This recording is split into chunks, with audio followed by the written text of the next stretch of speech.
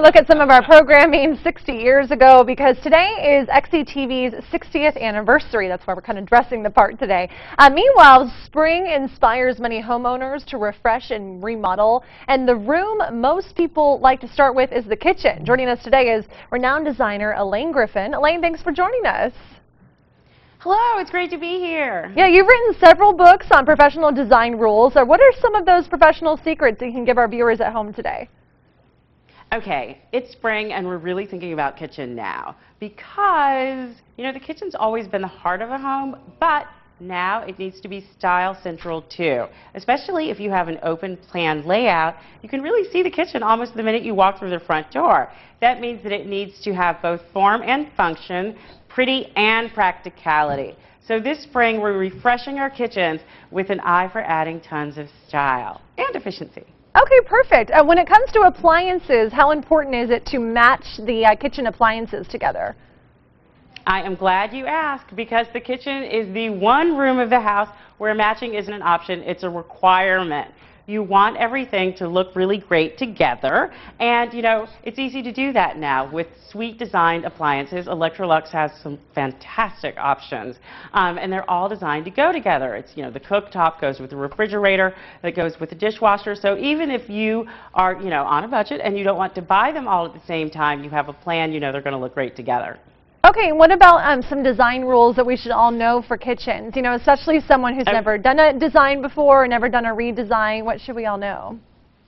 Here's where you, you know, here's where you start. Obviously, you have your cabinets, you know, and your countertops, but you want to pay attention to the work triangle. That's the triangle between the refrigerator, the cooktop, and the sink, and it's the most traveled real estate in your kitchen. You want it to be a small footprint.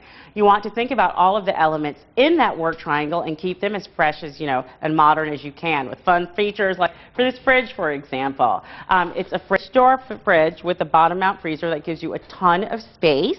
And then you want to look for snappy features that, you know, make life better, like a perfect temp drawer that, you know, keeps everything at the exact dialed in temperature. Um, new now for kitchens, you want a recessed, a built-in look. So we're going to get a counter depth fridge and then build it in, just cut a recess in the wall, build it in so it's one sleek look, the whole plane of your wall. Um, think about things that multitask. We're all multitasking marvels now, our appliances are too. Um, things like induction cooktops. I love them because you know they're super efficient. They give you you know professional quality, top chef results, but they also double as brilliant work surfaces when you're not using them. You want everything to really work and add your personality. You know, when you're thinking about finish colors, when you're thinking about maybe a new countertop, what makes you sing? What looks like you? Your backsplash, for example, you know, it's 15 to 20 inches tall um, and a great opportunity for, to style it up. So whether you're continuing the tile, the same marble like we did here, or you want like a blinged out black splash to go with your handbag, you really want a lot. You want to show your backsplash some love. Okay, what about lighting for a kitchen? I know that can be really important. You want to be able to see what you're cooking. Yes, you want to chop those vegetables and see what's what.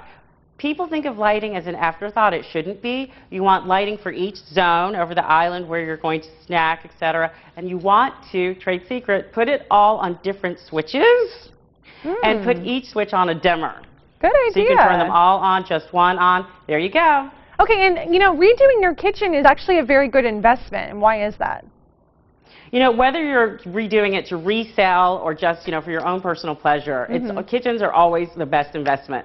Um, we spend so much time in them, an estimated three to five years of our lives are passed in the kitchen. Wow. Look to what's going on in neighboring houses, location, location, location, if you're planning on, you know, if you're remodeling to resell. Okay. So look, you know, whatever other people are doing. And, but if you're doing it just for your own personal pleasure, knock yourself out. And real quick, where can we go for more information? Got a ton of great creative ideas for you at facebook.com forward slash Electrolux and also at electroluxappliances.com. Great. Thanks so much for joining us today. It's good to see you. Th thank you. We'll see you next time.